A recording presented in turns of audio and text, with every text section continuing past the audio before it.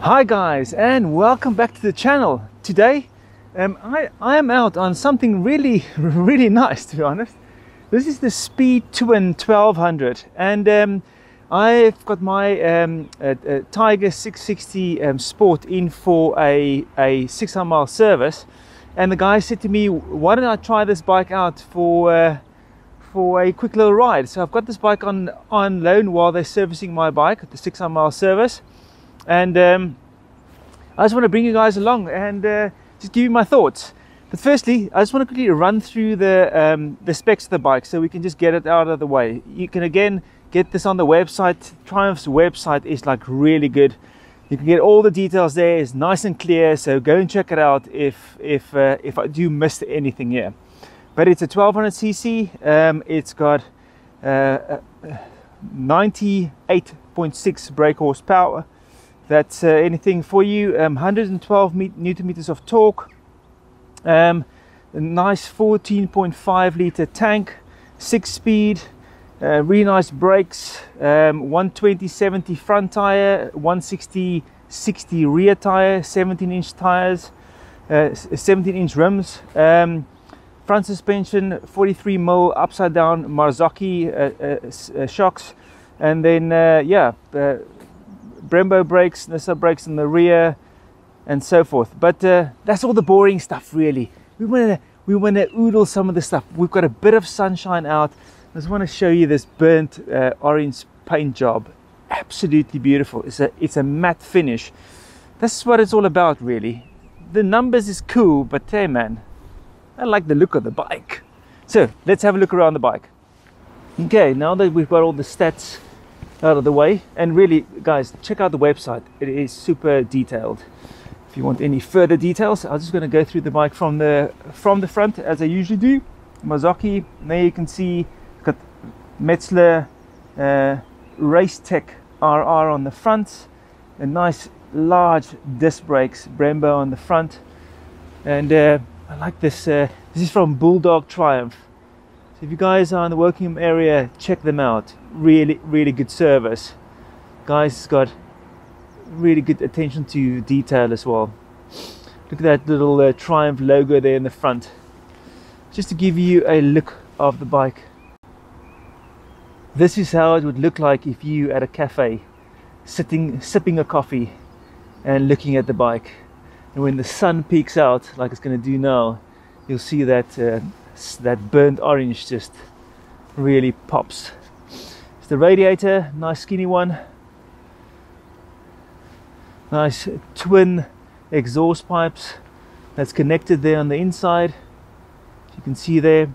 But look at this um, orange tank. You can really, you can hear it. I don't know if you can hear it, but it's this, it's like a mat.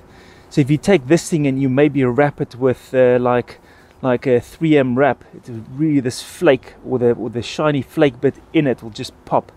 Absolutely awesome. Really really awesome. Yeah nice Bonneville logo 1200 cc speed twin. Really nice finish. The bike feels really comfortable. Um, it's a little bit uh, bendy bendy knees. Um, because the pedals is quite high compared to what I'm used to now the 8 or the 900 GT Pro and the, also the speed uh, or the um, my my Tiger 660 nice shocks coilover nice brushed exhaust.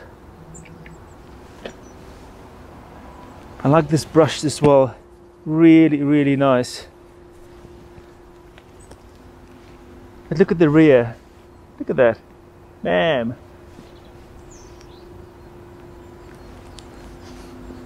Really nice tire. Bulldog Triumph. Check them out. This is from this side. Nice passenger pegs, standard, and a nice flat, flat, flat seat. So the passenger is a really, really nice squishy pad. But the thing is as well, I saw on the accessory cat catalog, and this is again one of those things that you can go and check out. The um, accessory catalog is massive. So you can really get anything you like.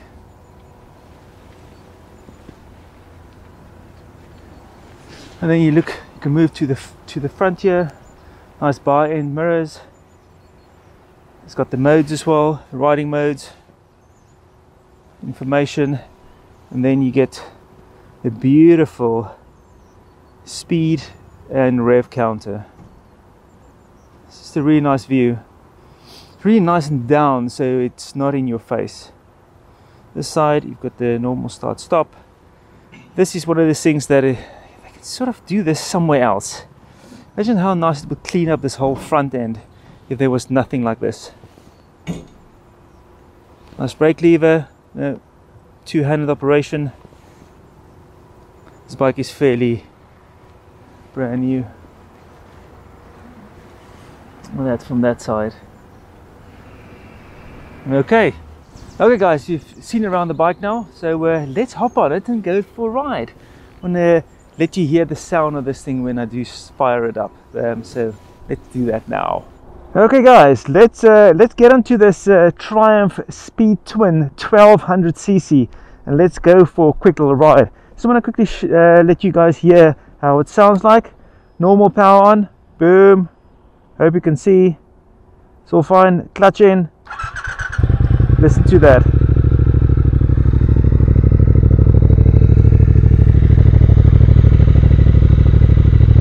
Listen to that sound.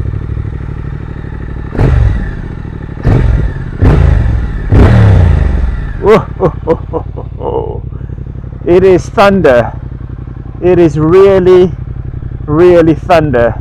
So as you guys can see, there's the rear view mirrors. Everyone uh, and his dog reviews their rear view mirror. But these ones are so far very fine and uh, nice and clear on the back. So uh, no rattles so far. I just had a quick little ride on it. So that's pretty straightforward. And again, I'm just going to take it slow. So just to let you know, there's a small little nubbin here at the bottom that takes out the kickstand. That can be a little bit annoying for, for anyone because it's quite tiny. Um, it's a nice forward leaning position. Again, very comfortable. The handlebars looks wide, but it feels very, uh, very uh, narrow. Um, but yeah, it is comfortable. Um, it's a slight lean forward. There's not a push into the tank for me. I am five foot 11 and a 75 kilogram rider. But uh, but yeah, super simple, nice clear dash. Um, this is this is again, you know, it's like the 900 scrambler scrambler I took out. Really nice and lumpy, smooth power delivery with these two pipes that sounds like uh, Zeus and the thunderbolts and lightning. Absolutely beautiful. You know, um, your normal indicators on this side, your mode, so you can select rain, sport, uh, road. I'm stuck on road at the moment. Um, there's some extra information that you can do miles per gallon. You can see the time and so forth. Odometer. This thing has got 320 miles on. Is that? Yeah. Um, they they they rate about 40, uh, 45 to uh, 50 miles per gallon. Not not yeah, 320 miles on the clock. Horn, brights, and so forth, and your flashes right on the front. The uh, brights, and this is uh, the running light, as far as I understand. But listen to that. Oh, so kickstand in. Let's go just quickly check if I've got everything. I don't want to forget anything. But yeah, I hope you guys can see. The seat is nice and flat. My legs are way more bent than uh, my 660 Tiger. The Tiger is more a adventure style bike, where this is more a uh, really a street street cruiser. I'm here um, getting the bike from uh, Bulldog Triumph in Woking, Wokingham. But listen to that. Woo! this is again going to be a bike that has got really nice power but it's also got uh, this manageable power you sit very upright and uh, uh, you know um, being being uh, used to having a screen where you can hide behind um, on the on the 660 this being uh, full face in the wind you uh, you really do notice it. And listen I'm not comparing it uh, to uh, to a bike with a with a screen. I'm, it's just something I picked up. It's an instant thing. It's, it's uh, something that I'm just giving you guys some feedback on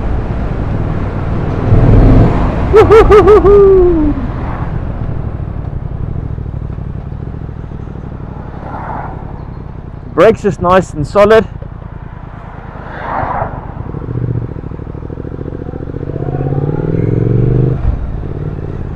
But it feels absolutely brilliant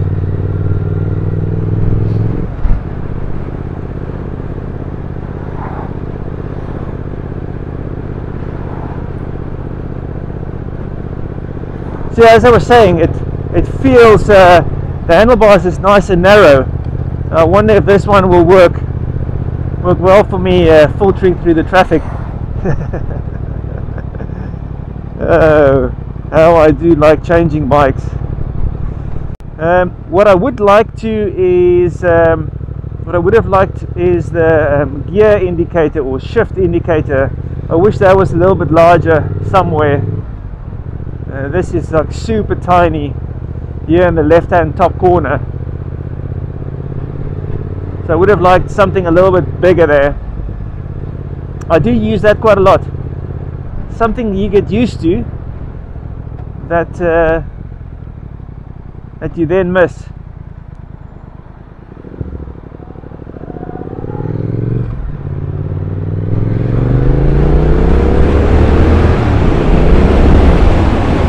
yeah the gear shifts. The gear shifts is like really smooth. I always think about can I take this bike? Can I take this bike on a uh, on a uh, on a tour? And I would say yes. I would put a little small little screen on the front here just to uh, uh give me a little bit more wind protection.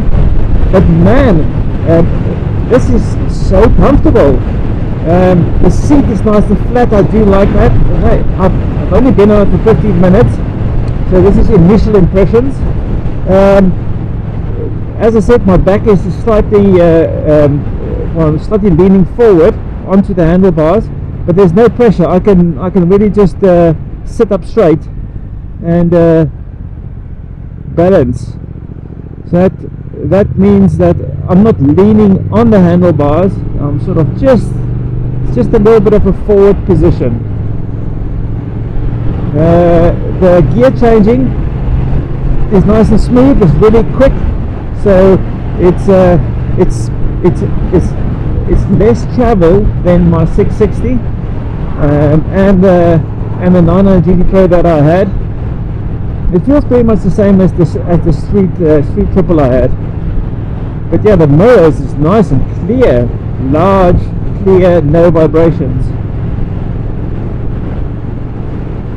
So uh, as I said, uh, there's quite a bend in your knees, so your toes is, is, is pointing down uh, quite at an angle. For anyone that's interested, but I would I would say uh, this bike will be uh, very comfortable to ride around on. To be honest, it's also the weight is nice and low down, giving it a giving it a nice uh, feel of of uh, less weight for the size of engine. But listen, this just listen to that um, uh, the exhaust. It's like Rambo firing the whole time.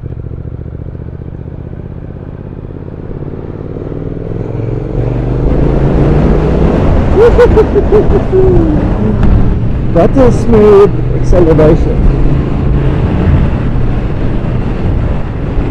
Now as I was saying um, on the previous videos, my, uh, my uh, 660 Tiger has got really nice uh, foreign tune on the on the accelerator because the because the engine is so is so smooth. Where the where the where the twins and the singles and stuff, they they you need to be a little bit more uh, fine fine on the or or learn how to use the accelerator so you get a smoother ride because it's the bigger engine. It just uh, handles differently. So the um, whoop so the, the um, what do you call it? The indicators is just um, at a different angle to my 660 and this is what I was saying that uh, if you get used to a specific bike you get used to a specific bike. And uh, and you learn how the things work. So I've been on the bike now for about 10 minutes max and I'm already used to where the indicators are. The horn indicators and then the flasher on the front I hope I'm on the road, right road here. Shifting down is nice and smooth as well. And uh, there's the nice and 50. You can really, I can really grab a nice handful and it really uh, accelerates super nice. Sitting up at 50.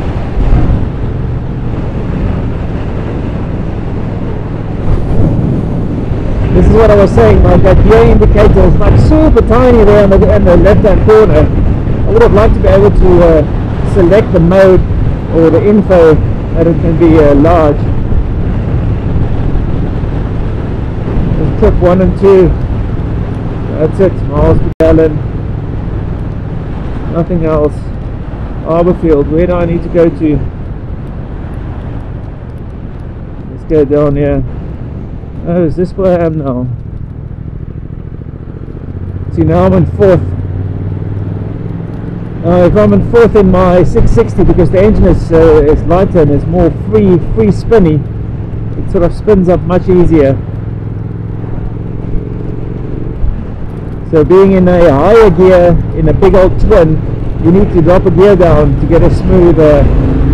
Woo! To get a smooth uh, acceleration. Now it's raining, so I hope you guys can still see. I'm going to try and get around this roundabout here in the front and uh, get out of the rain. They did say it's going to be uh, rain and showers and some sun. But yeah, the, the clocks is nice and clear. Really enjoy that. But uh, what the guy said to me, this is the same engine as on the bobber, and uh, makes it a very nice, very nice uh, smooth engine. Guys at Triumph do make nice bikes. I think this bike comes in at uh, this particular model. I think you get a you, well, you do get a colours of black with burnt orange, and then a red a red one but you can again go and check it out on the website. Or what you can do is go and visit uh, visit the guys at Bulldog Triumph and uh, go and check it out in real life. Because uh, on the website it usually looks in one color but as soon as you uh, see it in uh, in the flesh then it's uh, it does look really really beautiful. I was hoping for a little bit less traffic this morning joys of doing bike reviews or bike feedback reviews in the UK. Rain, bad weather and so on. We've got nice road tyres and uh, you know as much as I like an adventure style bike this is uh, this is something really special.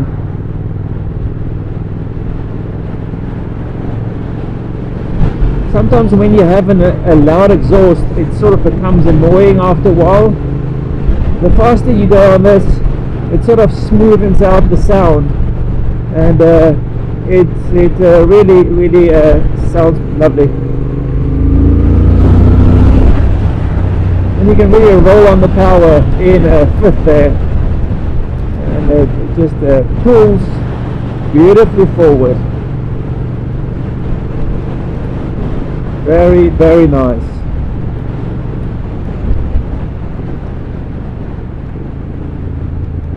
The shift down is also really cool. Very second now.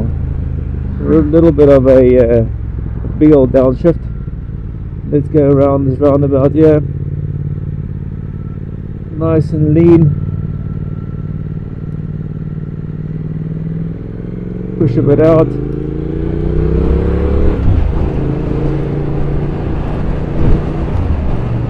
Really nice. Absolutely lovely. Battery smooth. I like the clocks as well, really nice and uh, uh, uh, uh retro. But as I uh, as I uh, commented on some of my old BMW videos as well, when you've got a small little LCD screen, um, I would rather like to have a, a, larger screen underneath the dials where I can see the um, like feel and and gear changes. This is something that I'm used to other people would be fine, fine, fine with that. Um, I actually uh, like to have uh, the gear indicator. That's quite cool for, for me. But yeah, really nice. You know, there's almost no pressure on my hands. You know, if I sit, if I feel now I'm doing 50 miles an hour, um, it's just really nice and uh, comfortable.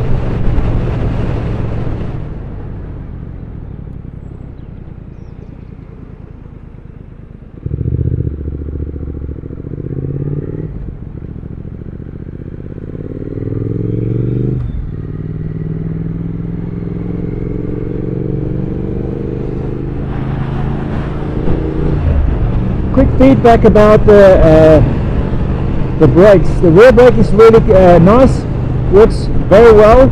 Uh, the front brake has got very little travel. Maybe it's it still just needs to be bed in, but it's sort of really powerful. Sure, I really press in very little, and um, you can uh, fall over the bike. but listen to that sound. Oh, clutch is also really nice.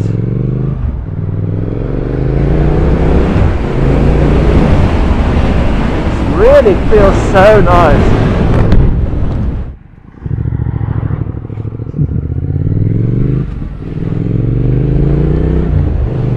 Yeah.